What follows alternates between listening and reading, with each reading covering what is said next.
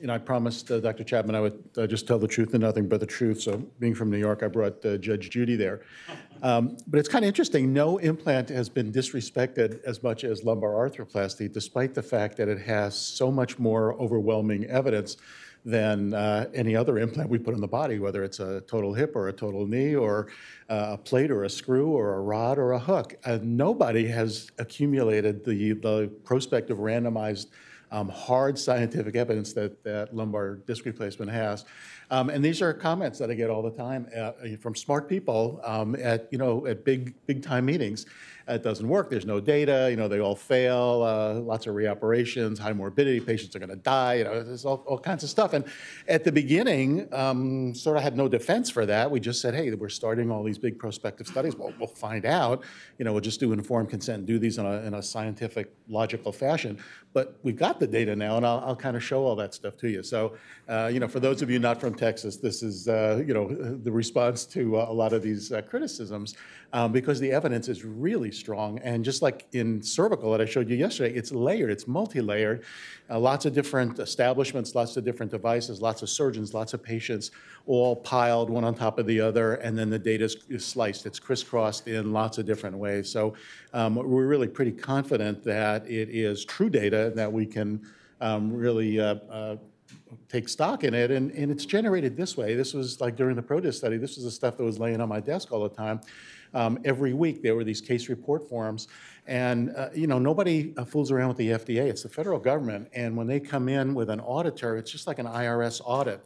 They're paid to find something wrong, you know, whether it's a missing signature or an illegible date or a number that doesn't match you are responsible, man. And you know, every one of those yellow tags I had to sign for, so I was the responsible party. And if they come in and they just think you screwed up, you get like a little slap on the wrist. But if they come in and they suspect fraud, um, you can go to jail. There are stiff penalties, and it's the principal investigator at the site. You can go to jail, you lose your license, you lose the ability to, um, to take care of Medicare patients for the rest of your life or any federal patients. You get posted on, on websites. So there are some pretty stiff penalties for screwing up this stuff, which is why, you know, these FDA study numbers, um, it's in nobody's interest to falsify them or do anything that can't be cross-checked. So uh, we all get it that the future spine surgery is going to depend on data, and and these studies generated this is week after week after week. You know, I would tell them just put them on my chair because if you put them in a corner or put them on the desk, they're just going to stack up. So put them on my chair so I can't sit down until I sign off on all these things. So this was my life, um, you know, during these big, massive FDA studies. We, we were the big, uh, biggest enroller in this study, but this was going on at 17 sites all around the country just for this one study. So the data is collected in the trenches by surgeons, by your colleagues who just decided, you know, this would be something interesting to be involved in. Nobody gets paid for this.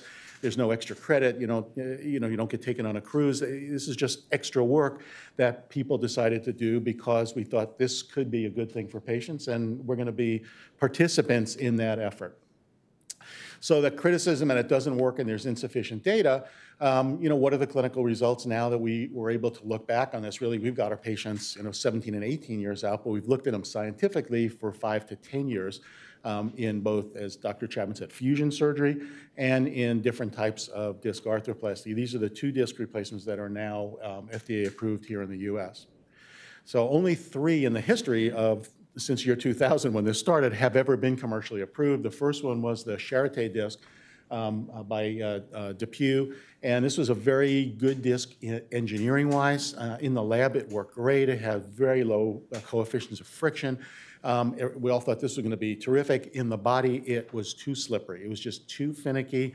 Um, if you put it in a normal cadaver segment and just made a little annular window anteriorly to put it in, it performed really well. But when you put it in someone who's got a degenerated segment, well, who's already sagged and their ligaments are thickened and contracted, and now you are taking more out and you're releasing some, and then you put this in, and then people started to, to try these off-label and put them in multiple levels, and it's sort of like having somebody stand on a teeter board, you know, and that they can probably do that, but then put two teeter boards and, and have somebody do it. They, they got to be really, really good. Now put three teeter boards, and you can see how tough that was. So um, you know, I've seen immediate post-op films of multiple levels of perfectly straight spine, and then six months later, you know, one's here, one's here, one's there, which is okay. You know, you kind of realize that's what would happen with a very, very unconstrained device. So that device had some issues. It was withdrawn globally in 2011. It's no longer available. Um, The next one was the the ProDisc um, L, which you saw yesterday, which was approved in 2006, still sold globally and in the U.S. And, you know, I think it's a workhorse. It's just, you know, very um, simply designed uh, and seems to be performing. Nothing else came along for a long time. So for nine years, that that was the runway, was just those two discs and the one disc um, after Charité went away. And then in 2015, um, the activL by Aesculap, who were actually the original owners of the uh, ProDisc, um, came out with a disc that was uh, sort of halfway. It has a little bit of leeway of the polyethylene in the lower end plate. It can translate a couple of millimeters, so the center of rotation can move a little bit, like a Mobi-C concept, um, but with end plates that are similar to uh, ProDisc. So those are the only two that are, are FDA approved. But these other guys have, have gone through FDA studies. They've spent the 30, 40 million dollars, involved 20 sites and you know 300 patients in each one. Uh, Maverick was uh, Medtronic's. It was a metal on metal uh, one-piece disc uh, that uh, had uh, ultimately licensing issues with the keel, so that Synthes um, stopped them from selling it in the U.S. And they- they were selling it outside the U.S. for a while. I'm not sure if it's still available outside the U.S. The Flexicore was a metal-on-metal disc that had some hard stops to it.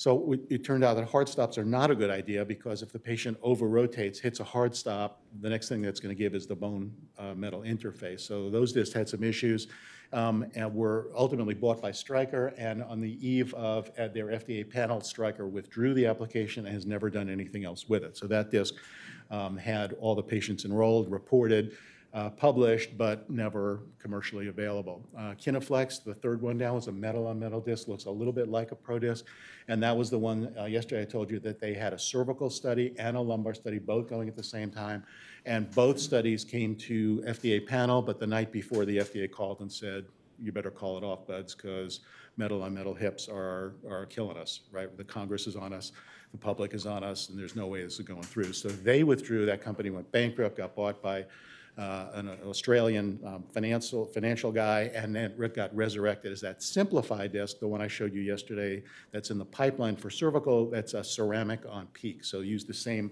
mechanics, different materials. And the last one is the Axiomed Freedom disc. That's a uh, viscoelastic disc that is kind of been puttering around. It's still in, in FDA submission, um, but it's sort of uncertain whether that's going to going to be approved. So data is generated on all those, but they're not commercially available. Um, the, you know, all the stuff I'll show you again is very high-level uh, scientific evidence. The original paper that, that uh, my partner Scott Blumenthal published as a PI for the Charité study um, showed the, uh, the 304 patients that were randomized to standalone threaded fusion cages. So it just shows you one of the, the foibles of an FDA study. Um, you have to design the study, get it approved, and then perform it, which takes about five years. So in that time frame, threaded fusion cages as a uh, treatment for uh, single-level degenerative disc disease sort of disappeared. People lost confidence in it, but they were stuck with it in the middle of their study, had to pursue it and go all the way. Um, so they, they wound up with getting FDA approval, but with a control device that was no longer in popular use. A couple years later, we were able to publish the data for the ProDisc study.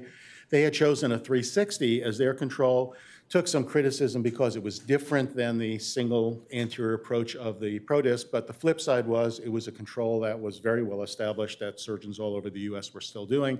But of course, by the time it got approved, people were saying, you know, you didn't use BMP. Well, because BMP wasn't FDA approved when the study was designed, and you can't use that as a control. So, you know, it's a dynamic situation, and you're always kind of betting six or seven years ahead that you've done the right thing, you've used the right control, that there'll, there'll be a market, that, you know, be reimbursement.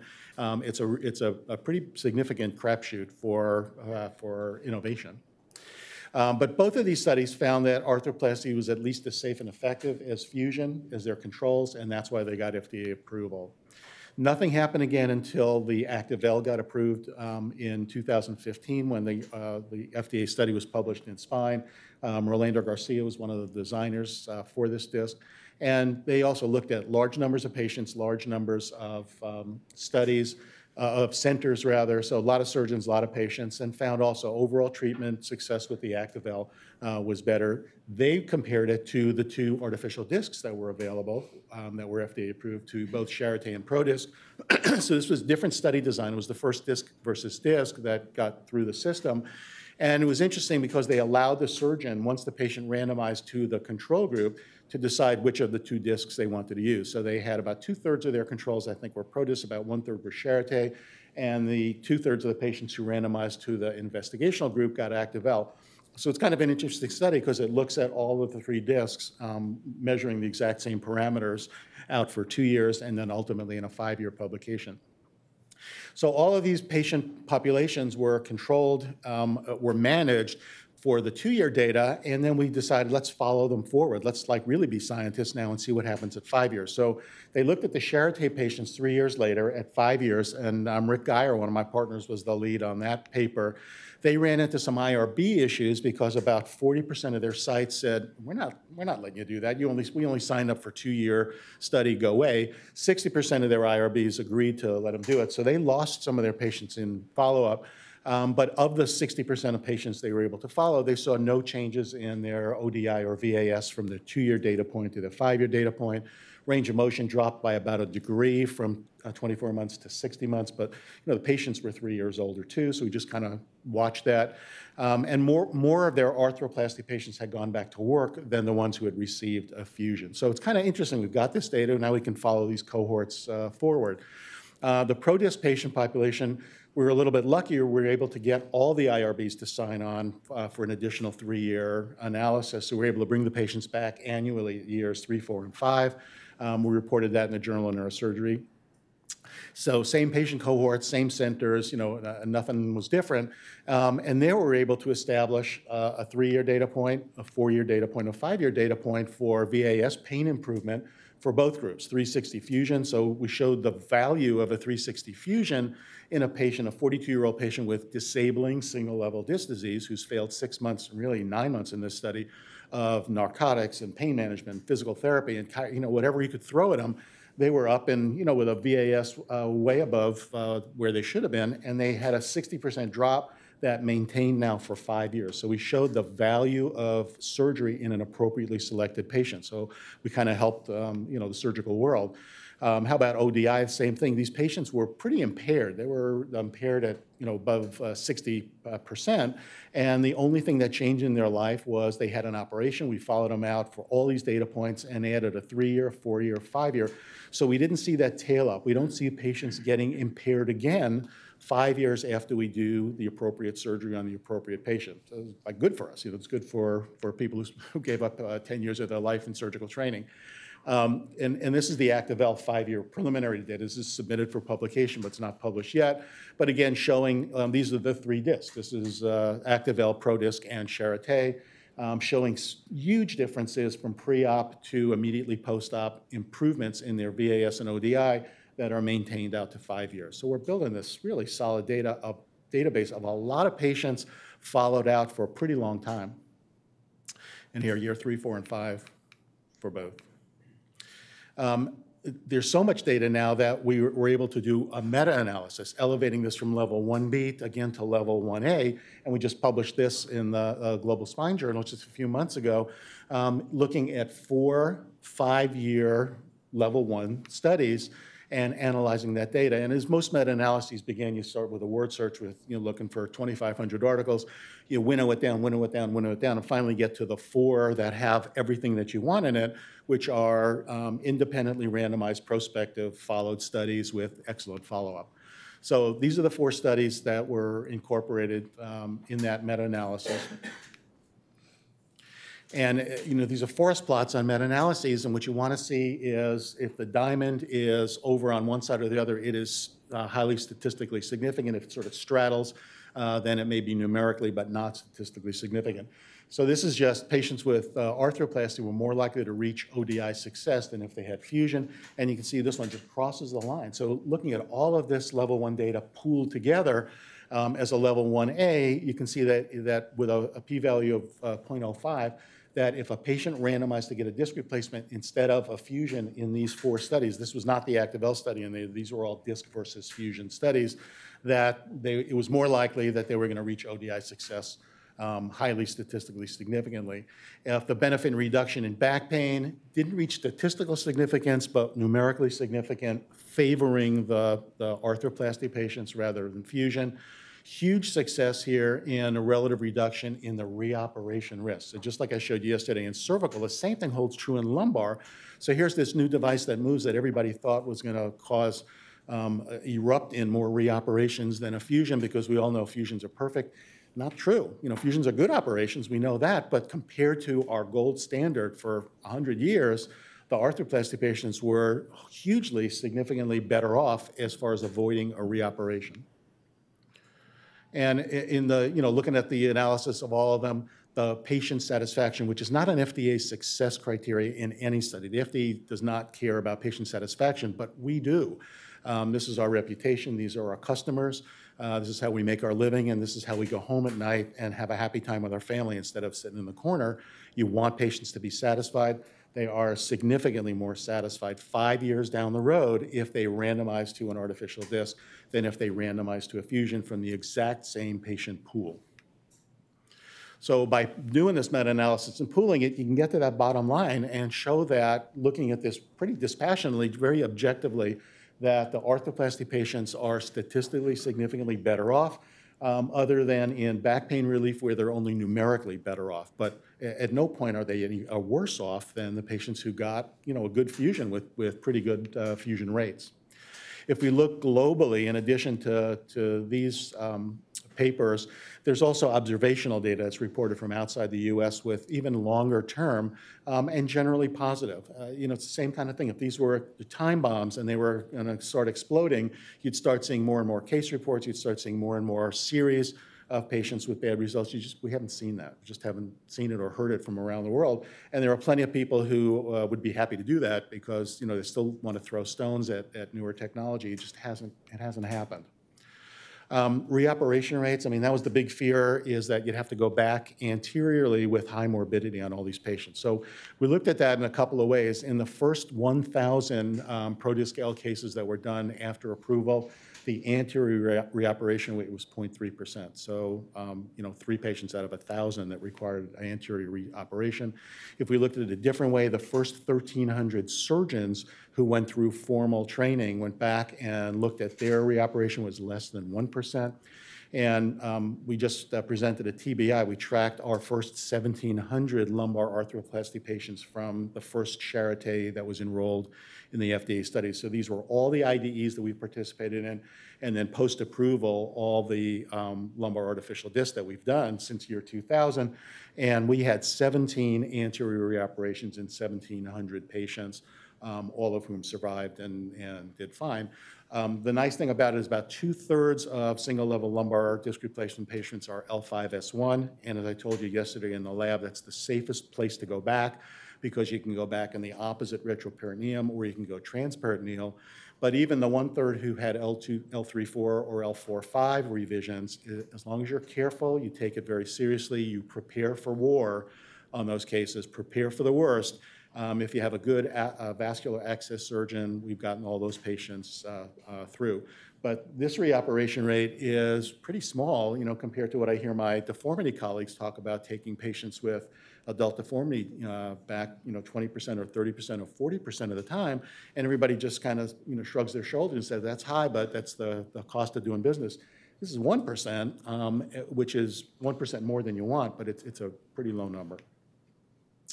Um, we looked at uh, removals and revision. That's the paper that I just told you about. Again, the consecutive series of 1,700, pretty long follow-up because uh, they were we only uh, looked at two years or more um, in follow-up, and these were the the numbers of patients. They told you 17 uh, removals, um, and then uh, some of these were multiple levels. So it was really about 2,000 implants. Um, we, what we were able to do looking at this data is look at the timing, like at what point in each surgeon's um, learning curve or experience did these reoperations occur. About 40% of the anterior uh, secondary surgeries were within um, one month of the index surgery. So most of them, or a large part of them, are early. So they represent technical errors, malpositioning, um, or uh, subsidence in patients who are improperly selected. So part of that can be minimized by just preaching, you know, and, and telling people the right patient selection and avoiding these kind of errors. 85% occurred within the first two years. So um, late, we, it's pretty rare to see a, a reason for uh, reoperation. And when we looked at each individual surgeon, it was the, the 40% of them were in the first 25 that each guy did. So the learning curve is um, uh, relatively steep for a few cases until you and your OR team get used to it, and then you know kind of learn for the rest of your life. So it's not uh, not horrendous, but um, that is where you can expect to see a little bit more of your errors, but no significant vascular or visceral injuries in all of these reoperations. We were happy to, to see that because the, you know it's it's tiger country, first time around, and it's like super tiger country uh, second time around. Um, adjacent uh, level degeneration, we talked about that yesterday with uh, cervical spine. We've also looked at it after um, uh, lumbar arthroplasty as well for both uh, ProDisc and the Active-L. And um, one of the, the neat um, papers that we were able to publish after the five-year data was available was looking at the adjacent level degeneration radiographically because all that, the, information was down at Medical Metrics in their computers. So we just tasked their radiologists and said, listen, here's a scoring system. Look at the adjacent level on the pre-op film, skip to the five-year film and score that pre-op level again. And just tell us whether the pre-op, the adjacent level from pre-op to five years got worse or not. So it was a very clean study. So here's what we found, uh, and we call it just a delta um, in adjacent level degeneration because it's not going to get better at the adjacent level, it would only get worse. So of the patients who randomized to a 360 fusion, they found worsening of adjacent level degeneration in 28.6%. In the patients who randomized to an artificial disc, it was only in 9.2%. So that's, a, that's greater than three to one difference. That's pretty highly statistically significant. So then we said to them, hey, listen, cull out the patients who were pristine at their adjacent level, patients who just had single level disease, who looked like that, where the adjacent level was a zero, what about those patients? What happened to that adjacent level? So you take out the variability of, of a level that was already showing some degeneration. And they did. They said in those patients, if they randomized to a fusion, 23.8% had worsening at five years radiographically, but only 6.7% of the arthroplasty patients. So that difference is still three to one and even more highly statistically significant. So kind of giving pretty good evidence that there is some protective effect, at least radiographically, and we have to follow them over time to see whether that will translate to a difference in reoperation rate and um, other functional disability. Uh, the Active-L, we did a similar thing. We were able to look at the adjacent level by sending them down to medical metrics, and they kind of reiterated for us that the um, the change in adjacent level degeneration at the levels above an artificial disc was about 9.7%. So in the same ballpark that we had found uh, in the earlier study. Um, the other thing we're able to do, um, similar to a paper I showed you yesterday with cervical, is for the first time start to cut the onion a little deeper and get more granular and say degree by degree of motion, what were what was the adjacent segment degeneration radiographically. So if we, again, if we did a crappy job and we only got one or zero degrees of range of motion, um, then adjacent level degeneration was pretty high. It was basically a fusion.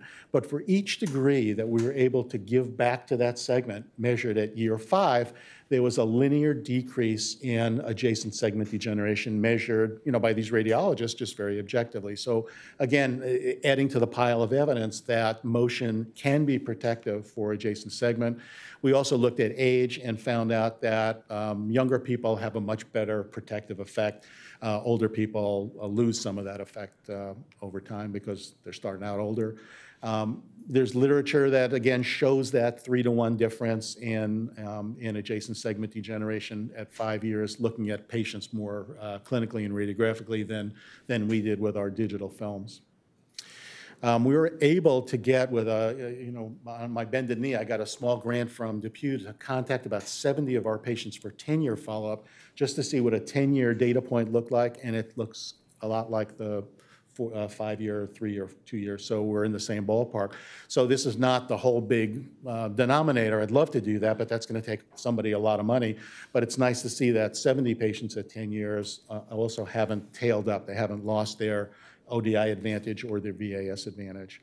So, uh, you know, the executive summary is, is, is a lot of good data. This is really hard, strong data. It's not just me, not just my institution. Um, this is, you know, nationwide, um, lots of docs and lots of patients showing that um, at five years that the patients are doing well, that the TDR outcomes are at least as good as fusion outcomes, if not uh, better.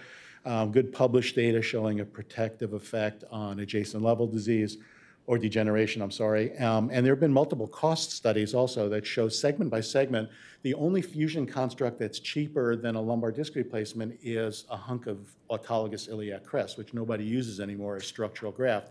Any commercial structural implant, segment by segment, it becomes much more, sometimes dramatically more expensive than a lumbar disc replacement. So, uh, you know, good high levels of data, Judge Judy, and uh, the truth and nothing but the truth. Thanks, guys.